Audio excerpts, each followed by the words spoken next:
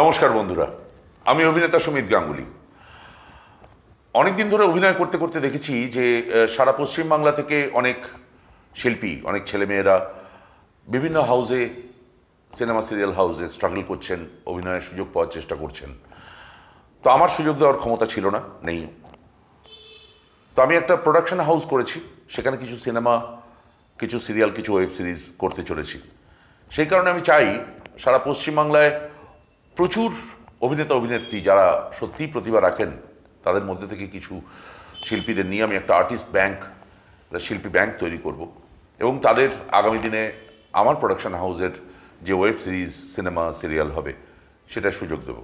সেই জন্য আপনারা যারা মনে করেন যে আপনাদের মধ্যে প্রতিভা আছেন এবং আপনারা অভিনয় করতে চান, তারা নিচে দেওয়া নাম্বারে যোগাযোগ করুন এবং আমার সঙ্গে যোগাযোগ করুন।